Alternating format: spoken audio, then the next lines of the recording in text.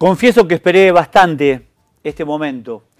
Tener al protagonista de la foto. Alguien puede decir, pero ¿cuál es el protagonista? ¿El de atrás o el de adelante? Es el de adelante. El que sonríe ante un grito, yo diría cómplice, de uno de sus maestros, Carlos Timoteo Grigol.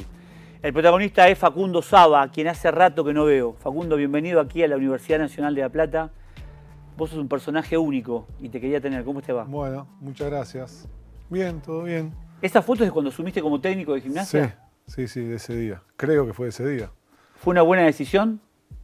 Mira, yo eh, todo lo que me pasa, digo que pasa por algo. Eh, por ahí no era el momento ideal porque, porque el club estaba en una situación muy difícil. Pero no me arrepiento nada de lo que hago, de lo que hice, porque creo que todo es una experiencia y hoy estoy acá gracias a también ese momento. Por supuesto. ¿Te sentís, ahora que estás de vacaciones y que tu cabeza funciona permanentemente, ¿te sentís un privilegiado por todo lo que has hecho en el fútbol? La verdad que sí, sí, sí. Pensá que yo juego al fútbol desde los seis años, a los seis, siete años, no, de chico, antes de los seis años, pero a los seis años pensé que soñé con que iba a, jugar, a ser jugador profesional de fútbol, que Víctor Hugo relataba mis goles. Y, a partir de ahí como que se fue dando algo todo muy natural hasta jugar en primera y después jugar en Europa y retirarme. Y, y Víctor Hugo relató varios goles de Saba. Varios goles, sí. Después se hizo el, prólogo del libro mío, o sea, tuve una relación con él especial. Eh, a partir de todo esto que yo le, conté, porque fue una de las personas que a mí me, enseñó a amar el fútbol. ¿Por qué? Y porque yo empezaba la transmisión a la una de Víctor Hugo y hasta que terminaba yo escuchaba lo escuchaba él y escuchaba, me encantaba, me hacía vivir el partido con, la radio.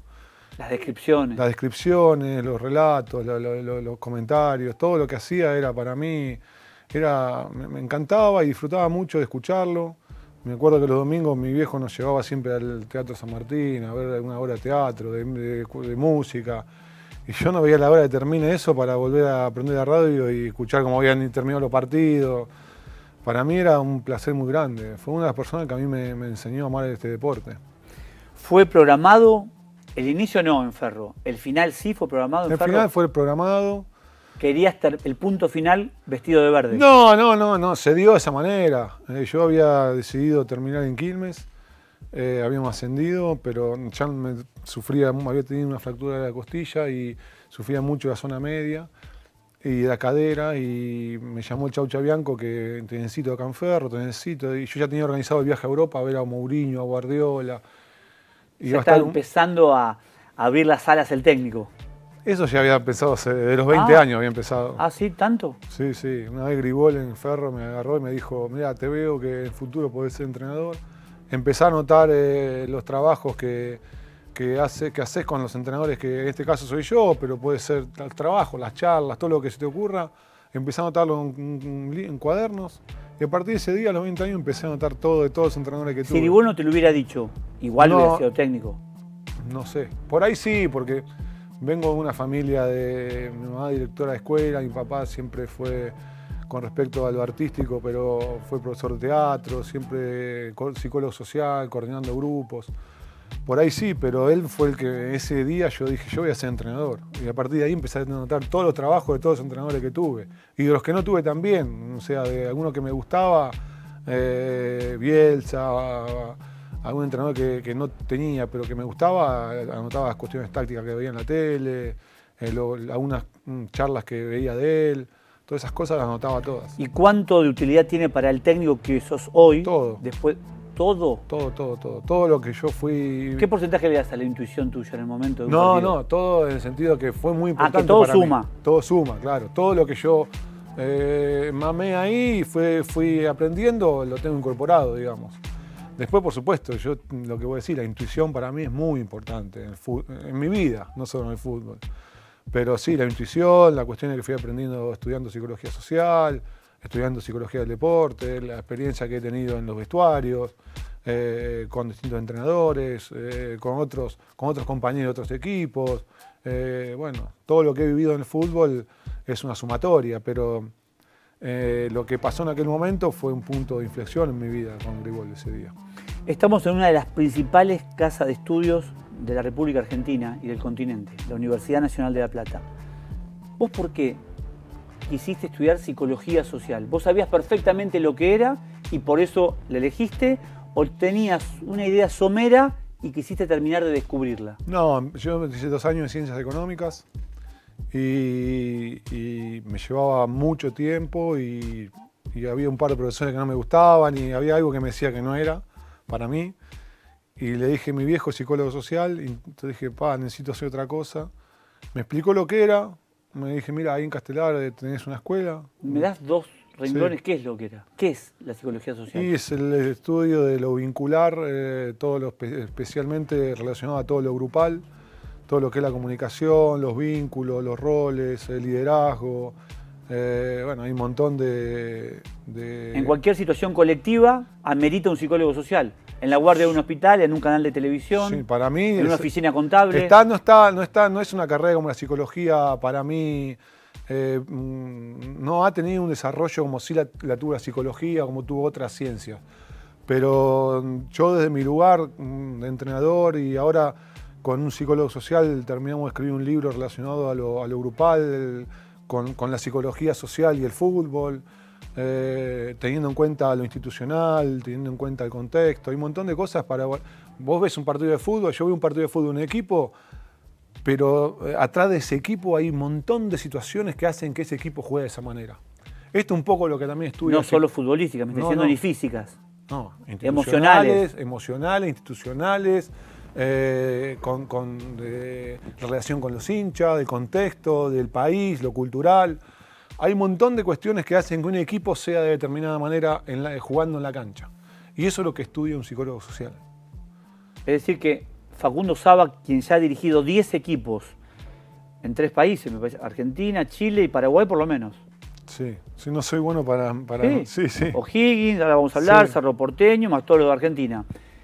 En lo único que no se perdonaría fracasar es en, el, manejo del grupo. fracasar, que hay que ver qué llamamos fracasar. Yo, por ejemplo, acá en gimnasia he tenido, no he tenido una experiencia en ese sentido. ¿En el manejo del grupo? Sí, pero es una cuestión que en ese momento yo estaba de una manera especial que no me permitió ver algunas cosas que, que, a, partir de ese momento pude darme cuenta y cambiarlas. Y en otros, en otros equipos hacerlo de otra manera, por ejemplo. O sea, no, para mí el fracaso es una palabra que no, no yo no soy utilizarla mucho. La, utilizo como no conozco otro, no sé, una excepción. Sí, un aprendizaje. Un aprendizaje. Para mí, todas las situaciones que uno no le pasan buenas en la vida, la tiene que tomar como un aprendizaje, aprender de eso, de qué, de qué no hice bien en ese momento, de qué hice bien, porque también algunas cosas buenas se hicieron, pero de qué no hice bien para que haya pasado eso que pasó. Eh, teniendo en cuenta también esto que te digo del contexto, de la institución, no es que me voy a hacer cargo yo solo, de, yo te hablo de la parte esta del manejo de grupo que por ahí me pasó en el momento ese. Pero había otras cosas, cuestiones que también... Era un momento, recordémoslo, para la gente que no es del fútbol, que era un momento de gimnasia muy complicado. Parecido al de ahora, más o menos. Ahora aprieta más la tabla, lo numérico, lo numérico está ahora con pone los pelos de punto a, cada hincha. Yo, pero había un contexto sí, raro. Pero para mí era mucho peor. Peor. Sí. En el sentido que venía de, por ejemplo, tener los, los Yuyo Estancia Chica dos metros de alto, hacía muy poco tiempo. Eso es terrible. Estancia Chica no era tierra de nadie, hasta que vino Pellegrino, empezó a, a poner plata, porque puso, yo sé que puso un montón de plata que, ordenó Estancia Chica, que le empezó a, tenerlo de otra manera, se involucró gente a ayudar al club también. Antes unos años fueron de, terror en gimnasia. Entonces yo llegué después de ese momento de terror, con todo acomodándose económicamente, no había plata para traer ningún jugador. Eh, eh, había un manager que, que, estaba bien. Para mí, Pellegrino en ese momento tenía y tuvo para mí siempre mucho amor por el club, muchas ganas de, ayudar al club, pero no, para mí no, estaba, no estuvo rodeado de gente capacitada, entonces eso mm, después también terminó perjudicando. ¿Tuviste una buena relación cara a cara con él? Sí, sí, me parece un tipo que, que, que día lo mejor para el club, pero eh, para mí no tuvo gente al lado que lo ayudara a a hacer de este club lo que era cuando estaba Grigol, por ejemplo, que era lo que todos soñábamos. Que yo vine acá pensando que se podía hacer algo así y cuando estuve acá era muy difícil porque había gente dentro del club que, que pateaba, para, que pateaba en contra, entonces eh, era muy complicado. ¿Qué tenía Grigol? ¿Dónde estaba la principal seducción? Tuvo, Grigol tuvo, por eso te digo, yo estudiando bien lo que era el contexto, tuvo dirigentes que lo apoyaron muchísimo y que entendían que él eh, podía hacer del club algo muy grande, como fue. Entonces, y lo dejaron hacer. Eso, eso es algo que no es fácil de lograr y de tener. Dirigentes que te acompañen, que te apoyen, que te den lo que vos pedís. Eh, y después la capacidad que de. Dejen hasta su ego medio de, lado para que la figura, bueno, él es nuestro conductor. Sí. No es fácil de tener eso. Y Gribol era un gran armador de grupos. Eh, tenía en la reserva a Mario Gribol, en las divisiones juveniles toda gente de su confianza también. Que sonreí, Mario Gribol, que era la antítesis de Carlos en la exigencia y él le ganaba en la calidez. Y se complementaban muy bien, pero además entendía mucho de fútbol. Los dos entendían mucho de fútbol. Y, y, ayuda, y trabajaban muy bien a los chicos. Entonces los chicos que venían eh, ya venían muy preparados a la primera división. Eh, porque tenían toda gente que trabajaban como ellos querían. Es una, eso es una ventaja que tiene un entrenador de primera, que tampoco tuve yo cuando estuve acá. Porque las divisiones juveniles en ese momento para mí que no, no estaban manejadas bien pero es un punto de vista mío, que yo se lo transmitía al presidente y a todo el que me quería escuchar. Mirando hacia atrás, ese Saba puede sonar eh, brusco, ¿Era menos líder de vestuario, menos entrenador que hoy? Sin duda porque he crecido mucho, pero igual el contexto ayudaba muy poco. El contexto me ayudaba muy poco, pero evidentemente en ese momento yo tenía que haber hecho otras cosas, sin duda. Hoy me siento totalmente distinto. ¿Podemos mencionar una sin nombre No sé, una, una, medida que... No, muchas, pero... Que tendrías que haber hecho, ¿eh? Sí, sí, sí. No, eh, el tema de los refuerzos sin duda era algo que, había que ponerse más firme, divisiones juveniles también, hay muchas cosas que había que hacer distintas. Pero bueno, era difícil porque la dirigencia estaba como acomodando también, era como algo todo muy nuevo, un manager que, renunció, que estaba, que era muy difícil todo ese momento. Eh, pero bueno, se dio de esa manera. Una vez Trollio me dijo, cuando yo era jugador, Martín tomaba las decisiones, corta, larga, presionaba, no presionaba, picaba al vacío, me la jugaba, no me la jugaba. Ahora tengo que tutelar a treinta y pico tipos. No solo treinta y pico. Bueno, en el plantel, en pantalón corto, más los dirigentes con traje, más los hinchas en la tribuna, más ustedes, los periodistas, me dijo. Sí, sí, sí. Hay momentos que me desborda. ¿Te ah, desborda? A mí no, porque me gusta. A él también le gusta. A mí me apasiona, a mí me apasiona lidiar con todas esas cosas. Sé que es el trabajo que tenemos, tengo un, equipo de trabajo en el cual también me ayudan mucho y, son están muy preparados, muy capacitados y que, en el cual yo delego también. O sea, este trabajo a mí me encanta hacerlo. Lo disfruto mucho. Menos que como, disfrutas menos que como jugador. No, no, no. Como, era distinto. Como jugador es como un poco como decía Pedro, que vos ibas, entrenabas, te ibas a tu casa y por ahí sí, algunas cuestiones del grupo que había que solucionar, pero menores. Eh, sobre todo un equipo como el nuestro, que estaba, en este caso gimnasia, por ejemplo, acá, que estaba todo muy organizado. Entonces eh, éramos cuatro o cinco los capitanes, que pasaba algo y enseguida lo, solucionábamos, no dejábamos pasar nada. Como entrenador es algo parecido, pero a mayor escala, porque tenés eh, no solo el compañero, sino tenés como, como, esto, los periodistas, los dirigentes, los hinchas, los, jugadores, los médicos, los, kinesiólogos, nutricionistas, mucha gente que necesitas que esté bien. Entonces tenés que estar pendiente de todas estas cosas. En gimnasia jugaste atrás un tiempito, en el medio y terminaste con el antifaz de goleador. ¿Sentías que podías hacer todo? No, Martín, sentía que podía dar una mano donde me lo pidieran. ¿Cómo lo manejaste? Sí, en su momento era eso, una mano donde me pidieran. Porque... Gregorio te puso atrás. Eh, sí, un par de partidos. Con el número 6, me parece, en la espalda. Sí. Con el número 6 también creo que jugué hasta delantero, pero a mí no me importaba mucho el número. Eh, me importaba siempre estar dentro de la cancha, jugar y ayudar al equipo. Y a veces había que hacerlo en el medio, a veces había que hacerlo atrás, hasta que un día dije, no, yo quiero, a mí me gustaba hacer goles.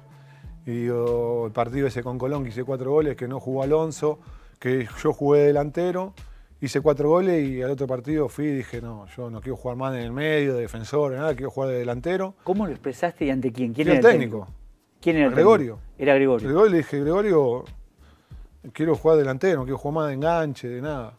¿Y? Y me dijo, bueno, esperá hasta el, torneo que viene que vendemos a Alonso y vos vas a ser delantero. Y fui a los dirigentes y le dije lo mismo. Dijo, confía en mí que yo voy a ser goleador de este equipo. Y, bueno, confiaron todos en eso y se pudo dar de, al final, poder ser el, goleador de, gimnasia y, y, clasificar las copas y salir, pelear los campeonatos y tener buenos torneos como número 9. Haber hablado como habló de Víctor Hugo Morales, una vez no tiene dimensión de lo que puede generar con su voz, con sus palabras, en millones de personas. Lo marcó Víctor Hugo Morales. Grigol, Ferro, como primer bloque, como primera entrega, no estuvo mal. Vamos a la pausa y más Facundo Saba en Únicos.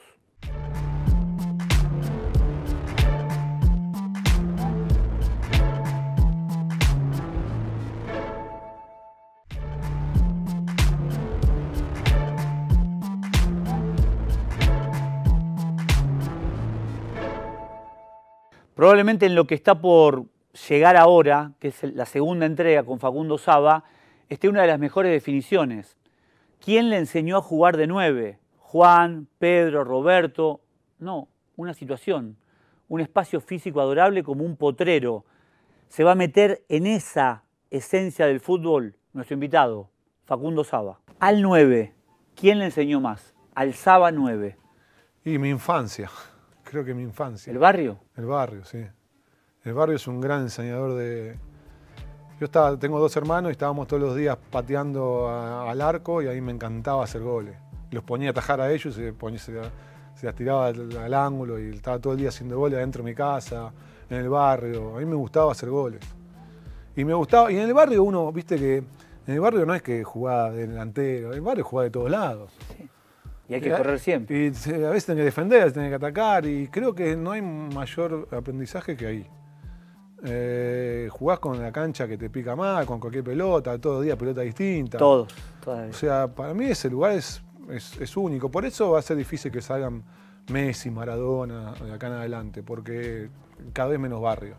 De hecho, eh, en Portugal estaban como haciendo los últimos minutos en las divisiones juveniles, darle, se llevan los entrenadores y le tiran la pelota 15, 20 minutos a los jugadores y bueno, no sabía eso. en divisiones juveniles de clubes importantes, de las ligas importantes. Sí, sí. Y nosotros lo hacemos también. A veces en los clubes yo no estoy, 15 minutos, muchachos, nos vamos, vamos, jueguen 15 minutos de fútbol, hagan lo que quieran. Arréglense ustedes. Ahí te das cuenta quién es el líder, te das cuenta quién marca el camino, quién mantiene el orden. Después también, que a veces que se pone a jugar uno delantero defensor, otro, y eso son cosas que son cosas que, te enseñan, te enseñan. Cuando en el barrio, yo el otro día escuchaba a uno que decía, cuando venía uno que era, vos chiquitito, venía uno grandote, no le iba a saludar porque te mataba, le tocaba de primera. Cuando venía chiquitito, por ahí lo eludía. Esas cosas son, son la picardía que te la da el potrero. Únicamente. No, después. Eh, bueno, la competencia te va dando otro, otros matices. Pero el potrero te da mucho y esto está, se está perdiendo. Está bien, hacía goles en el barrio, pero a Ferro no entras como número 9. Era volante. Era de volante, pero Gribol me puso de número 9 cuando debuté. Pero a vos Boca no te compra como 9. No, porque después fue Gribol de Ferro y ya los técnicos que vinieron me empezaron a poner por izquierda, el tipo de carrilero. Y ahí me llevaba Bilardo a boca de, carrilero. Leí una declaración tuya sobre Bilardo, elogiosa en el agradecimiento, en la buena memoria, que te llamó por teléfono a tu casa. Sí, después del día que, el día que se despidió de nosotros, a la noche, a las 2 de la mañana, me llamó a mi casa. Me pegó un susto. 2 de la mañana. Sí. Y... ¿Vos ya casado, con hijos, todo? No, no, yo estaba de novio, estaba en la casa de. Llamó a la casa de mis viejos y yo estaba en lo de mi novia. ¿Y a tu viejo lo mató un, mi mujer. un infarto? Sí, no, y a mí también me mató un infarto. ¿Y ahí llamó a la casa de tu novia? Atendió ella, me dice Bilardo. Y yo no le creí. ¿Quién? Digo, yo estaba redormido. Hola, y me empieza a hablar, agradeciéndome por, el, por todo el trabajo que yo había hecho en todo ese tiempo, que siga trabajando así, que me iba, bien, me iba a ir bien en el fútbol que no afloje, que le iba bien a hablar de bien mí al técnico que viniese, que siga para adelante, que me iba siempre a apoyar. Bueno, yo no sabía qué decirle, gracias, Carlos. Y más allá de esto, lo que es una anécdota, pero las cosas que yo aprendí estando en boca con él, eh, a nivel de video, a nivel de tácticas, a nivel de un montón de cosas que yo no lo había visto nunca, aún teniendo, habiendo tenido Gribol como entrenador en Ferro. Eh, para mí un tipo eh, avanzado en lo que es tácticamente, a lo que yo venía viendo de otros equipos. Ve cosas que el común de la gente no ve. En ese momento veía cosas adelantadas, para mí estaba adelantado el tipo. Sí. De que juegue un defensor de mediocampista o de delantero, que yo le decía al negro Cáceres, le decía, cortá y nadie cortaste, eh, estás en el medio y ya no sos más defensor, sos mediocampista. Y si, y si llegaste abajo el arco, no sos más mediocampista ni defensor y sos número 9 y tenés que jugar como número 9. Para mí era algo novedoso eso. Para mí era algo novedoso, para el fútbol era algo novedoso. lo, empoderaba el jugador. Sí, sí, lo, te empoderaba. Te daba un montón de herramientas que, que te hacían mejor, sin duda. De ferro a boca es como pasar de, de, no sé, de un barrio a Hollywood. en ese momento nosotros en ferro eh, no era el ferro del 82, 84, un ferro que ya estaba un poco más en decadencia. Más gastado. y era difícil, pero... Imagino que Boca te recibió con mucho ruido. y era un mundo distinto, sí. Eh, pensá que nosotros em, íbamos a cancha de Racing y empatábamos con Ferro y era, un triunfo. Y, fui con Boca a cancha de Racing y empatamos. Tienen que ir al frente, macho, acá que ganar. No, y llegamos al vestuario y era un duelo, era, era haber perdido 10 a 0 para Boca.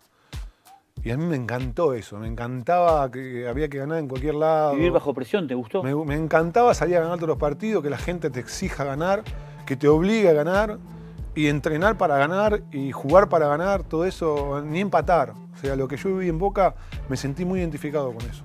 Me gustó. Por eso cuando viniste a gimnasia eras como la locomotora del tren, la que tiraba para adelante por el arrastre de Boca también, o por el chip de Boca. Pasa que en gimnasia también me encontré con jugadores que iban por el frente. Era un equipo, era un equipo con tipo ganadores en el que yo llegué, al que yo llegué. decime los primeros que se te vienen a la punta de la lengua. No, y bueno, el Topo, Leo, el Coco, San Esteban, todo. No sé. Sí, Pedro. Eh, bueno, con Pedro llegamos juntos. Eh, todos los tipos ganadores, viste, que, que les gustaba ganar y que hacían todo para ganar. Y en cuanto pasaba algo en el entrenamiento que no nos gustaba, enseguida lo, solucionamos para porque teníamos que ganar el otro partido. Y era una cuestión de grupo, nada individual, cada uno pensaba más en, lo grupal que en lo individual. Y porque sabíamos que nos potenciábamos uno a otro individualmente cuando las cosas no iban bien colectivamente. ¿Cómo fue salir de gimnasia después de todo el, el espectáculo? Primero, ¿cómo se te ocurrió lo del antifaz?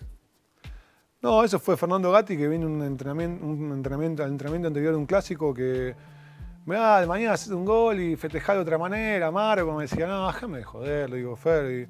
Bueno, yo me voy a encargar y me trajo el día del partido, me trajo. Hablamos de unos tipos más jodones del plantel, Fernando Gatti. Sí, me trajo una guirnalda y un antifaz. ¿Qué hago con esto, boludo? Y, me, y la guirnalda no, la dejé en el bolso, pero el antifaz me lo puse en la, en la media. Pero me olvidé del antifaz y cuando hice el, fue el 3 a 2 sobre la hora que hice el gol sobre la hora, el 3 a 2, y me acordé del antifaz y me lo puse y ahí se armó una revolución. Una revolución. Pues la gente me llevaba antifaz, máscara al entrenamiento. Los nenes. Los nenes. Vendían, vendían antifaz en la cancha, que había el partido siguiente, jugamos local, brillaba toda la popular y, la gente había comprado esos antifaces que vendían, no sé, fue una locura. Y después, bueno, me iba la gente de entrenamiento y me llevaba antifase bordado, máscara, y todo, y que empecé a usar esas cosas y bueno, fue una etapa divertida. ¿Tus viejos disfrutaron ese sábado de antifaz en gimnasia? Todo, todo. ¿Venían a la cancha? Sí, sí, mis viejos, mi, familia, mis amigos. Eh, fue un momento que, de disfrute del club. Peleamos todos los campeonatos. Yo creo que nos faltó como un poquito más de ambición para terminar de coronar eso que, no, que, siempre estuvimos tan cerca.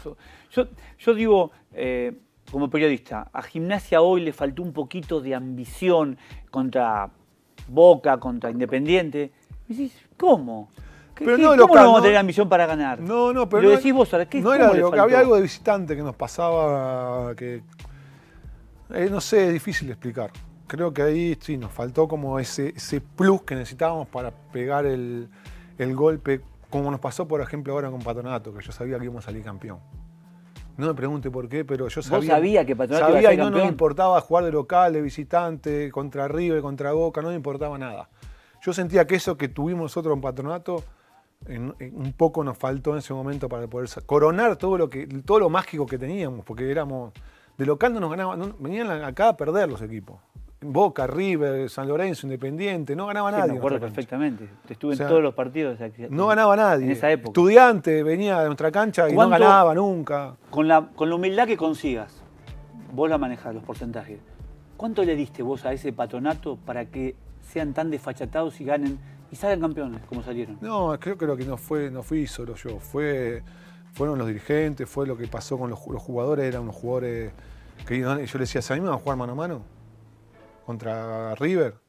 Pues, mm, si nos metemos atrás, ¿qué? van a ganar? Porque empiezan a tocarnos la pelota, empezamos a correr detrás de la pelota. Mano a mano con un líbero. No, no, uno contra uno, Mano a mano. mano a mano. Suicida. Bueno, no, no fue suicida porque sali- salimos campeones. Y entrenamos para eso. Digo, ¿se animan a jugar de esta manera? ¿Se animan a entrenar para jugar de esta manera? Sí, sí, nos animamos. ¿Cómo no nos vamos a animar? Bueno, vamos a entrenar. Y nos poníamos a entrenar y hicimos un montón de entrenamiento pensando. Velocidad, está un estado físico impecable. de- de- sí, como para empezar a charlar. Sí, pero bueno, nosotros sentíamos que lo podíamos hacer. No era todos los partidos, pero y, algún- y teníamos op- opción B, opción C, por si no funcionaba. Todo trabajado. Y bueno, funcionó, pero teníamos eh, jugadores valientes también, arriesgados. Ahí quedaste en la historia. Ahí quedamos en la, que fue algo muy lindo. Con la gente lo que pasó fue algo. Además, un equipo querible, simpático, Sí. no agresivo, No, no, no. Se, la de gente. tierra adentro. La gente en la calle en Paraná con nosotros fue. Bueno, no sé, sigue siendo porque la muestra de cariño que sigo recibiendo de la gente de Paraná, de Entre Ríos. Fue algo inesperado eh, que va a ser difícil que se vuelva a repetir. Dirigiste 10 equipos. A ver si esto fuera domingo para la juventud. Gimnasia, O'Higgins, Cerro Porteño, Quilmes, Unión de Santa Fe, San Martín de San Juan. Me faltan tres. Racing, Racing. gimnasia.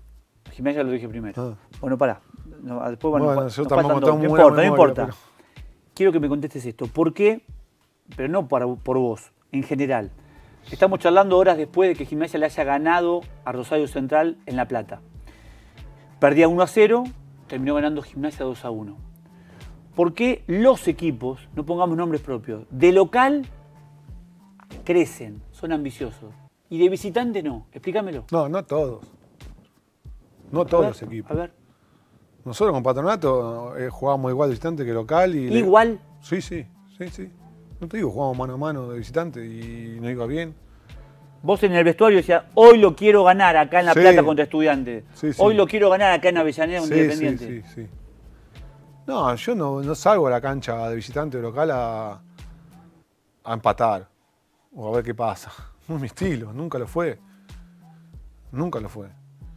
Y nosotros como en patronato éramos un equipo, éramos un equipo durísimo, que íbamos a todas las canchas, ganamos en- de visitante, ganamos en un montón de, Sí. de canchas.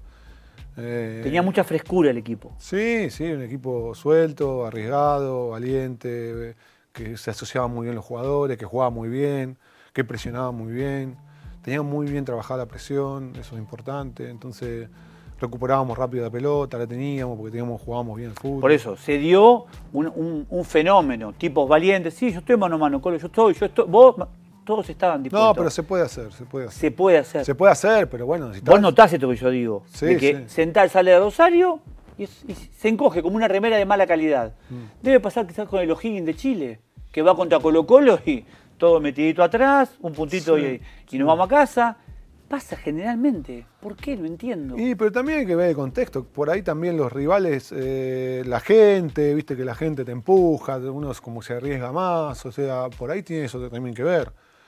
Eh, veo muchos equipos que yo veo a River y, y- Bueno, pero es River. Bueno, está bien, pero vos decís, hay equipos que juegan. eh, San Lorenzo juega igual de local que de visitante. No hay diferencia, con un estilo. Sí, con un estilo, una identidad, está bien. Una identidad, pero. Yo mencionaría. Defensa y Justicia. Defensa y Justicia juega igual de local que visitante. Andá a ver a Defensa y Justicia cómo juega todos los partidos. Y exactamente, no, no cambia el sistema, porque no, uno no trabaja distinto porque va a jugar de visitante. Yo he tenido entrenadores que, yo te hablo de por mí, he tenido Sí. entrenadores que sí, no, pero vamos visitante, las cuestiones son distintas. Hay que, bueno, no es mi forma de que yo entiendo el fútbol. ¿Te Nosotros. bajaba un poco la ¿Eh? energía eso? Esa charla, esa charla para te la bajaba un poco la energía. Sí, porque ¿con qué necesidad hay? Eh, Colo, te quiero un poquito ayudando al 5, que metas la cola. Colo, vení, Colo, vení. Y esas cosas, pero bueno, había que hacerla porque bueno, estamos. El que manda es él. El que manda es el entrenador y para algo está ahí. Eh, pero a veces nosotros también, entre los jugadores, che, mira, en este momento nos dicen esto, pero si vemos que, que en un momento podemos estar ahí, presionar y vemos, vamos. Y a veces lo hablabas, lo puedes hasta hablar con el técnico, y che, si podemos, sí, vamos para adelante. Si no se puede hablar, bueno, y vemos que puede funcionar, y si no, bueno, eh, también está en. También están los jugadores, que al final son los que deciden dentro de la cancha, los que están, los que toman determinaciones. Sí, sí, depende de ellos. Si, el si admitimos que el técnico que vino a gimnasia era en estatura profesional, era sensiblemente menor al actual, que no está trabajando, pero va a haber un, décimo equipo en cualquier momento, el de Racing y en Racing era más tierno todavía. Y que uno cuando eh, eh sí, claro que Racing, ¿eh? yo, yo, cuando escribí un libro, cuando escribí el libro en el 2009, si yo me pongo a leer ese libro ahora, yo creo que el 70% de las cosas que están en el libro, hoy las pienso distintas. Pero no tengo, 70, digo 70 por decir un número, pero puede ser más. Porque uno va creciendo, va teniendo experiencias. Eh, lo que me pasó en Racing no me va a volver a pasar, porque no me pasó más. Lo que me pasó en gimnasia no me va a volver a pasar, porque no me pasó más. Porque lo tomo como experiencia de vida, como crecimiento. Y bueno, por ahí me han pasado otras cosas. Pero eso que me pasó ahí, que no fue positivo, lo tomé como, bueno, ¿qué, cómo, ¿cómo llegué a esto? Por esto, esto, esto y esto. Listo, bueno, esto no me pasa más. Y no me pasó más. ¿El libro es Los colores del fútbol? Sí. ¿Qué quisiste expresar como idea madre en el libro? Cuando vos dijiste, bueno, voy a escribir un libro, tantas horas por día que no me jodan en casa, voy a tener una rutina de trabajo. ¿Vos qué querías volcar en los colores del fútbol? No, todas mis experiencias de de vida a, todo nivel, a nivel de, fútbol, a nivel de, grupo, a nivel de concentraciones, a nivel de tácticos, a nivel de, amigos, a, todo lo que hay en el fútbol, rodeado del fútbol. Yo quería darle una, idea, mi idea de cada cosa sobre eso, con, con, una experiencia contada a través de una experiencia, una anécdota o lo que sea, y eso fue lo que fue el libro. Ahora ya terminamos uno con, con Fernando Fabri, que es un psicólogo social y psicólogo, doctor en psicología. La idea es, a, mi lector, entregarme herramientas que yo pueda aplicar en mi ámbito, me dedique a lo que me dedique. Sí, bien. Ahora, ahora este libro que sale ahora a fin de año va especialmente dedicado al manejo de grupos eh, relacionado con el fútbol también. Y todo lo que la psicología social puede aportarle al fútbol. Si este descanso que decidiste tomarte, por lo menos hasta fin de año, yo te, no sé si te, puedo garantizar, pero te digo, Colo, hay que estar cerca de la calecita de los técnicos. Mirá que es donde vos te alejas tres filas, te alejas del escenario, después se vuelve difícil. ¿Asumo el riesgo? No es algo que, sinceramente, no es algo que me, que me preocupe. No. No, de hecho he tenido varias ofertas, varias. Buenas. De acá y de afuera. No hablo de plata. De todo, de todo y le he dicho que no a todas las que vinieron, por distintos motivos. A uno por el equipo, otro porque no, por, porque no, me gustaba el club, otro por los dirigentes, otro por, por distintos motivos, le he dicho que no. Otro porque tenía en otros países.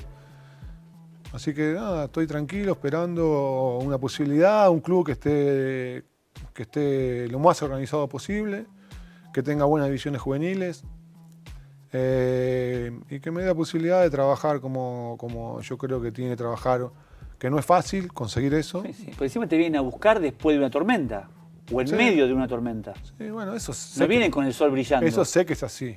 Eh, debemos estar preparados para, para, eso y tener esa herramienta para poder eh, resolver estas situaciones con las cuales vienen los equipos a buscarnos. Los colores del fútbol fue un libro, el primero, de Facundo Saba. Dijo que el 70% de lo que escribió ya caducó, ya se transformó en una idea superadora. ¿Eso es un rasgo de inteligencia, de maduración? Bueno, nos deja pensando. Ya volvemos.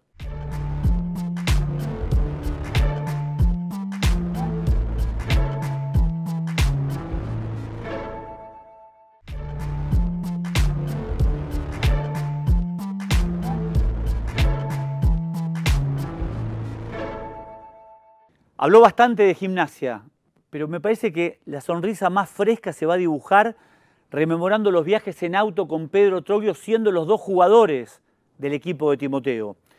Scaloni lo conoce, compartió algo, Argentina campeona del mundo, un vaticinio, un pronóstico, había elementos para generar semejante sueño, la parte final con Facundo Saba. Sacando tu cuestión afectiva con gimnasia, ¿cuál fue el club que mejores condiciones a priori te entregó? No, en muchos. En muchos hemos tenido muchas condiciones. Acá en gimnasia, en la época de, del Gribol, era un placer venir a entrenar. Veníamos con Pedro viajando todos los días y era venir a, a, pasarla bien, a divertirse. Era venir a divertirse.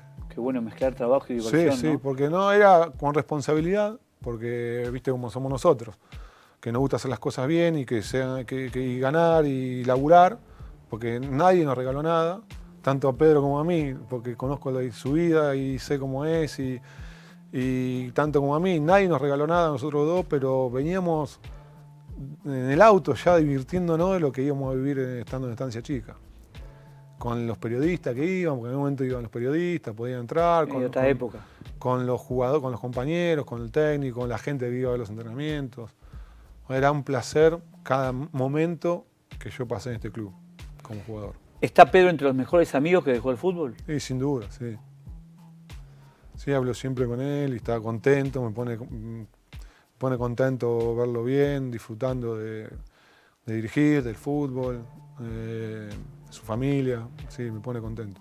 Haber eh, llegado al fútbol de un país como Inglaterra, justamente los que estuvieron en la invención de este jueguito maravilloso, ¿no? Mm.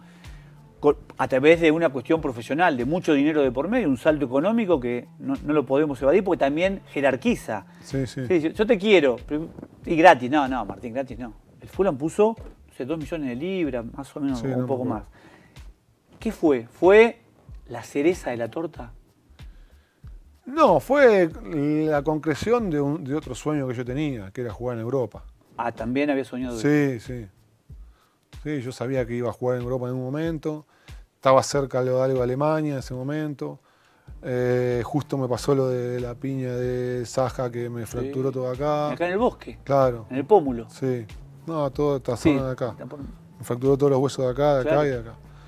Eh, y ahí estuve como, como se enfrió todo eso, después vino lo de Inglaterra y se dio y para mí fue cumplir un sueño y vivir en un fútbol y jugar en un fútbol distinto, pero a la vez nosotros los sudamericanos le agregábamos a esa tan organizada cultura. Una impronta. Algo que, claro, que, lo, que le aportábamos y que de hecho por eso llevan tantos jugadores de, Sudamérica o de otros países, porque toda esa organización y toda esa estructura que ellos tienen, física y futbolística, de mucho trabajo de la técnica, pase, recepción, velocidad, nosotros agregábamos otras cosas que, le aportaban al fútbol ese. Y para mí fue muy lindo haber jugado en ese país, en el Fulham donde jugué, y, haber vivido y convivido con los mejores jugadores del mundo. ¿Te fue bien en términos estadísticos? El primer año sí, jugué casi 30 partidos, hice 7, 8 goles, 9, no me acuerdo, jugué un montón. Ganamos la Copa Intertoto, llegamos a cuarto final de UEFA. Tuve, fue un buen año y el segundo ya cambió de entrenador y empezó a jugar con solo punta. Estaba Saja que hacía mil goles, entonces yo entraba, salía.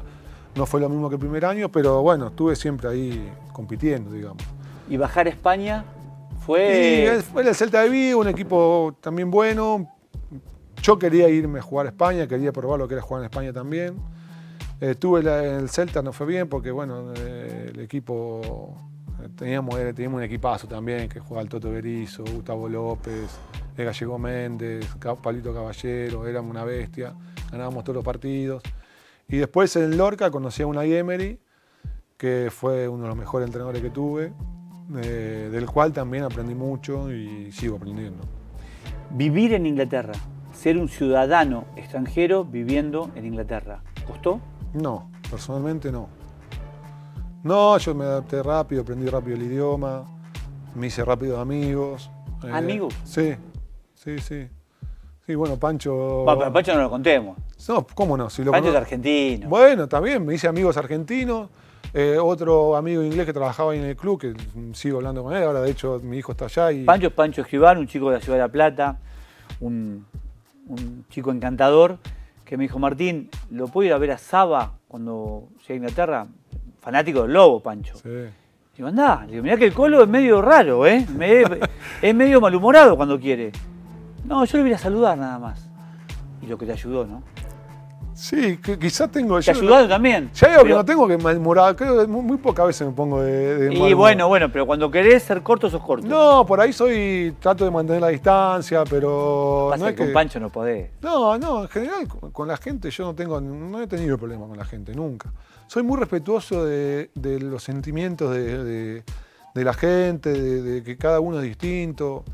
Nunca tuve un problema con un hincha de estudiantes, por ejemplo, nunca en mi vida, con un hincha bueno. independiente. Es un tipo correcto, lo, ha- lo ha sido siempre. Porque respeto lo que siente, sé lo que siente un hincha por un club. El amor, para mí el sentimiento de amor es el sentimiento más lindo que hay. Y sería un, un- alguien que no está bien que critique a, a un hincha de otro club por solo tener el sentimiento de otra camiseta. Para mí es el sentimiento de amor el más lindo y, y por un club es algo hermoso. Entonces es algo que hay que respetar. No, lo- no veo, no entiendo a alguien que insulte a, a- a otro porque tiene otra camiseta. No, nunca me pasó, nunca, nunca lo hice. Y eso también creo que se devuelve hacia mí. Por eso nunca me pasó de tener un problema con ningún hincha, de ningún club. Jugando seis años acá, habiendo hecho goles, o sea, Sí. eh, un- jugando un montón de clásicos, habiendo ganado un montón de clásicos. eh, y nunca en mi vida en la calle, acá en La Plata, tuve un problema con un hincha estudiante. No, menos de gimnasia, ¿no? Pero, Por supuesto. eh, porque creo que eso depende de uno también. Eh, y así soy en la vida, soy muy respetuoso de, de la gente, de lo que piensa la gente y bueno, eh, así me he manejado. Sé que la respuesta es no, pero quiero el, el detrás del no. ¿Por qué no te quedaste a vivir en Inglaterra? ¿O en Europa? Eh, porque quería conocer otra, otras culturas, que era España, eh, y después de hecho, después de haber estado en España, podría haberme vuelto a Inglaterra porque me querían varios equipos de ahí, también de España, porque en España me fue, me fue bien.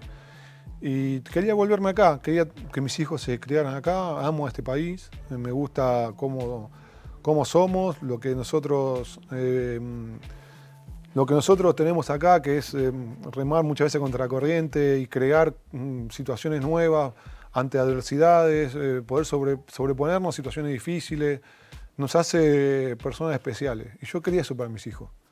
Y después quería empezar a dirigir acá, quería hacer el curso técnico acá, quería dirigir acá, empezar acá y, y en un momento también poder ir a otro, volver por ahí allá en algún momento, pero, pero Una, quería... una etapa de técnico en Europa te gustaría. me Sí, sí, me gustaría. Sí, sí, me gustaría.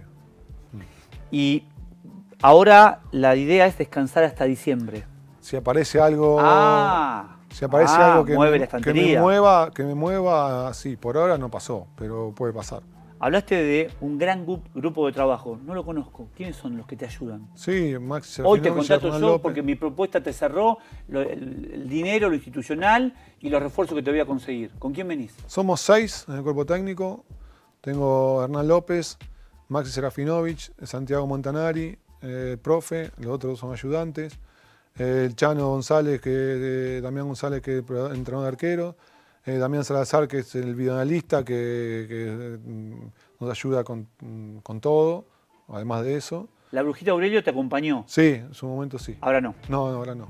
No, él después de que yo salí de acá estuve un tiempo eh, sin dirigir y él se fue con el topo y después ya quedó, se fue, estuvo con el topo un par de años, yo ya volví a dirigir y tuve otro ayudante. ¿Cómo explicaste Eh, vos? es mi amigo, ¿no? Sí, amigo sí, y- por supuesto. ¿Cómo te explicaste vos para adentro, conociendo el paño, siendo entrenador, habiendo pasado buenas, regulares y malas, lo que hizo Scaloni? Que no era técnico y No, colaboró sí. con San Paoli. No, no, no era técnico, colaboraba con San Paoli. y bueno, y Era técnico. Está bien, no había trabajado como tal. Bueno, yo estuve con él cuando San Paoli estuvo en, en Sevilla. Yo soy muy amigo de Matías Mana, que es ahora es. eh, no, no es él se enoja, yo digo analista de video, pero es uno más del cuerpo técnico de, de Scaloni. Sí. Él empezó conmigo en San Juan y en Unión. Mirá vos. Después se fue con San Paoli a Chile y se fue con San Paoli a Sevilla. Yo estuve una semana con Sevilla y Scaloni ya estaba con San Paoli en el Sevilla. Y yo estaba, colaboraba. Claro, no estaba en el cuerpo técnico. Ah, Sí. Y después se viene a la selección. Y en esa semana conviví mucho con Scaloni y con Matías, porque yo me quedé parado, paré en la casa de Matías, Matías Mala, que era, estaba ahí con San Paoli. Y ahí me di cuenta que el chabón eh, era un entrenador. Porque estábamos todo el día hablando de fútbol, pará. de táctica. ¿La viste venir? No. No, bueno. Ah, no, no, Pero no. sabía que. No, no, no te digo ver Qatar la vuelta No, olímpica, era un pero ver que, eh, ah, no, que podía quedarse con Estábamos tres personas hablando, tres entrenadores hablando de fútbol. Palo y palo. palo y palo, todo el día. Desde que empezaba el día hasta que terminaba. O sea, de táctica, de equipo, de aquel equipo, del otro equipo, cómo juega este, cómo juega aquel, tres líneas de tres, línea de cuatro, línea de dos, mano a mano, sobrando, eh, extremos, no extremos, dos puntas, un punta, eh, 4-3-3, o sea, todo el día era.